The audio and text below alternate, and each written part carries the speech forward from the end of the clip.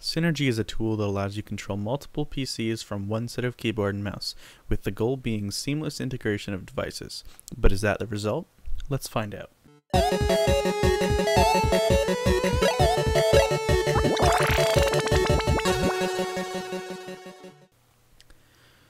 First off, I'd like to give a big shout out to the Synergy team, who work together with me to solve issues and take suggestions. Customer experience is half the product, and so far they get a high mark.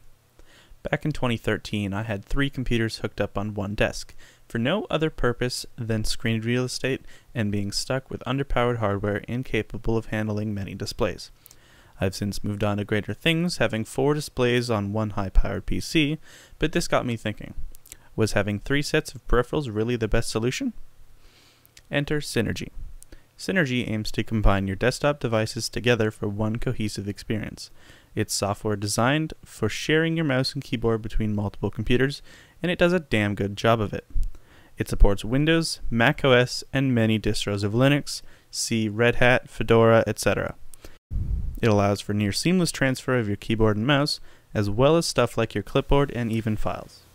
It's basically a network-based KVM, but much more powerful. Let's delve into the installation process, shall we? Installation is a simple next next next process where the only thing you need to do is tell the installer if the computer you're on is a host or a client. The host is the machine that you want to share the keyboard and mouse from, i.e. your main machine.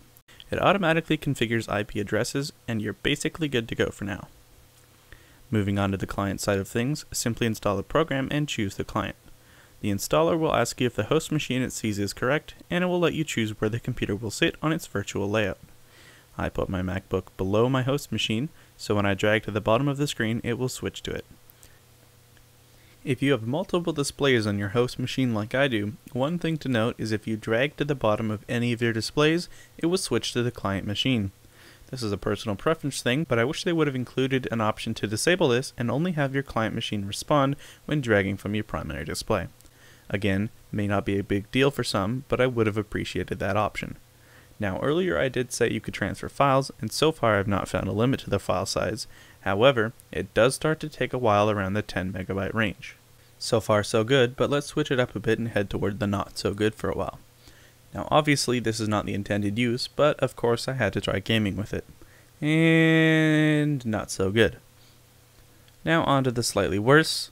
I'm currently running into an issue where my games no longer capture my mouse, meaning they now go off my main display and it's possible to click myself out of the game no matter what my settings are. I'm currently working with the Synergy team and I'll give an update when they get to a solution, but as of right now, if I want to play any games on my host machine, I have to uninstall. Not a big deal, as the configuration saves and it is easy to set up so quickly, but it is something to note and I thought you guys should know about it. In closing, Synergy is a great solution to having many work machines on your desk without having many sets of peripherals. And for the price of $10 for the base version and 29 for the Pro, the Pro having SSL encryption and priority help desk, this is a damn good value. If you enjoyed my content, feel free to let me know down below or hit me up with a subscription.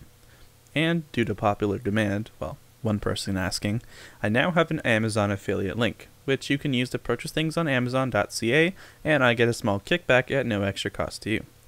Thanks for watching.